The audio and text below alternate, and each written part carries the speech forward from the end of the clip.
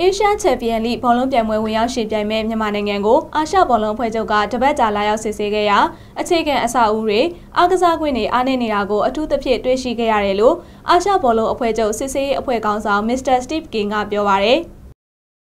ဒီလိုလာရောက်စစ်ဆေးခဲ့မှုနဲ့ပတ်သက်ပြီးဇူလိုင်လ22ရက်နေ့ကစီရိုနာဟိုတယ်မင်းတုံခမ်းမမှာသတင်းစာရှင်းလင်းပွဲပြုလုပ်ခဲ့ပါတယ်မြန်မာဘောလုံးအသင်းကို professional ပြောင်းမှုအတွက်အခက်အခဲများစွာရှိကြောင်း professional ကိုပြောင်းဖို့ဆိုပါကပထမဆုံး Asian Champion League ကိုသွားရမှာဖြစ်ပြီးဘောလုံးအသင်းတွေရဲ့ဘန်နာရေးအခြေအနေနဲ့ပတ်သက်ပြီးမဖြစ်မနေအင်အားတောင့်တင်းအောင်လှုံ့ဆော်ရမှာဖြစ်တယ်လို့မြန်မာနိုင်ငံဘောလုံးအဖွဲ့ချုပ်ဥက္ကဋ္ဌဦးစောစောကပြောခဲ့ပါတယ်။သူတို့သတ်မှတ်တဲ့အနည်းဆုံးပေါ့နော် ACL သတ်မှတ်တဲ့အမှတ်600ဆို600ပေါ့600ပြည့်ရင်တော့ကျွန်တော်တို့ ACL ဝင်ဝင်ရမယ်။အဲ့ပေါ်မှာနှစ်ပိုင်း play off နဲ့တရိုက်ဝင်ဝင်တယ်။ဆိုတော့ကျွန်တော်တို့ကဘာကြောင့်ဒါကိုဝင်ဝင်ဝင်ဖို့လုပ်ရလဲလို့မေးရင်တော့ဒီ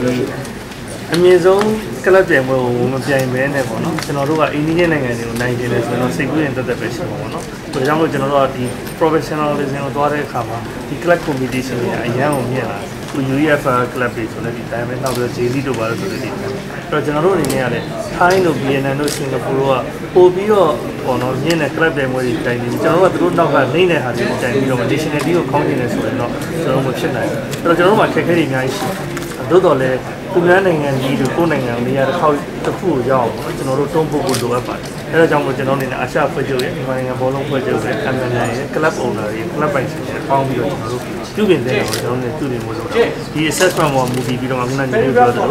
90ရာခိုင်နှုန်းကတော့ club တွေရဲ့အနေအထားပေါ်မှာရတဲ့အမှတ်30ရာခိုင်နှုန်းကတော့ national နည်းရဲ့အမှတ်တစ်ခုပေါင်းလို့ကျွန်တော်တို့ကသူတို့သတ်မှတ်တဲ့အမှတ်ကိုမြင်ရင်တော့ကျွန်တော်တို့ဝင်လို့ရတယ်။နောက်တစ်ခုကတော့ဝင်လို့ရတဲ့သူကြီးပြောတာဒီလိုပါဟိုကျွန်တော်တို့ club တွေဥမာရတနာဘုံတို့ရန်ကုန်တို့ဒီလိုပဲခြားဇွဲကပင်တို့ club တွေကတကယ်လို့အာရှအဆင့်ပြိုင်ပွဲတွေဝင်ပြိုင်သွားမယ်ဆိုရင်ဂျပန်မှာကျွန်တော်သွားကစားမယ်ဒီမှာသူတို့လာကစားမယ်ကိုရီးယားကိုသွားကစားမယ်ကျွန်တော်မြန်မာနိုင်ငံနဲ့မဟုတ်ဘူးပဲねကျွန်တော်တို့ရဲ့ club တွေအသုံးပြုထားတဲ့တိုင်းနာမည်တွေမြို့နာမည်တွေကအာရှတိုက်တစ်ခုနဲ့ရောက်သွားမယ်။နှစ်ပြီးတော့လည်းဒါကိုဈေးကွက်တစ်ခုနဲ့ဖြစ်သွားမယ်။ဒီဈေးကွက်ကနေတစ်ဆင့်ကျွန်တော်တို့အနေနဲ့ကလပ်တွေတော့ဝင်ငွေလေးရလာတယ်။နောက်အာရှ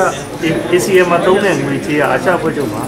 တန်း300ကျော်ရှိတယ်။ကျွန်တော်တို့ကအဲ့ဒါနဲ့ပတ်သက်လို့ဘာခံစားမှမမရှိဘူး။ဆိုတော့ကျွန်တော်တို့အနေနဲ့တသိန်းကိုကျွန်တော်တို့အနေနဲ့ပတ်ကစားရင်ပုံမှန်ဝေးကစားရင်ကျွန်တော်ကိုများသိမဆိုင်ရဘူး။တတိယရောဒီအသင်းတွေအောင်မြင်အောင်မြင်လို့ကျုပ်ခံစားခွင့်လည်းရမယ်။ဆိုတော့ market နဲ့ပတ်သက်လို့လည်းချဲ့လာရလာတယ်။နောက်ကျွန်တော်တို့အနေနဲ့ကိုယ်နိုင်ငံအတွက် branding လုပ်တဲ့သဘောမျိုးဖြစ်နိုင်တယ်။ကလပ်အတွက် branding လုပ်တာလည်းဖြစ်နိုင်တယ်။ဒါကြောင့်ဒီဟာကိုကျွန်တော်တို့ဒီကုတ်ခက်ခဲခဲရှိတော့လဲရအောင်လှမ်းမယ်ဆိုပြီးဒီ assessment ကိုလုပ်တာ။အာရှဘောလုံးအဖွဲ့ချုပ်ကစစ်ဆေးချက်အရမြန်မာနိုင်ငံရဲ့ရမှတ်ဟာ285မှတ်ဖြစ်ပြီး ရမှတ်400ရရှိမှသာ Asia Champion League ပြိုင်ပွဲကိုဝင်ရောက်ရှင်ပြိုင်ခွင့်ရရှိမှာဖြစ်တယ်လို့သိရပါဗျ။လက်ရှိအာရှနိုင်ငံတွေထဲမှာ Asia Champion League ကိုဝင်ရောက်ရှင်ပြိုင်မှုအတွက်ဂျပန်အသင်းကရမှတ်အများဆုံးရရှိထားပြီးအာဆီယံနိုင်ငံတွေထဲမှာတော့ထိုင်းအသင်းကရမှတ်အများဆုံးရရှိထားတယ်လို့သိရပါဗျ။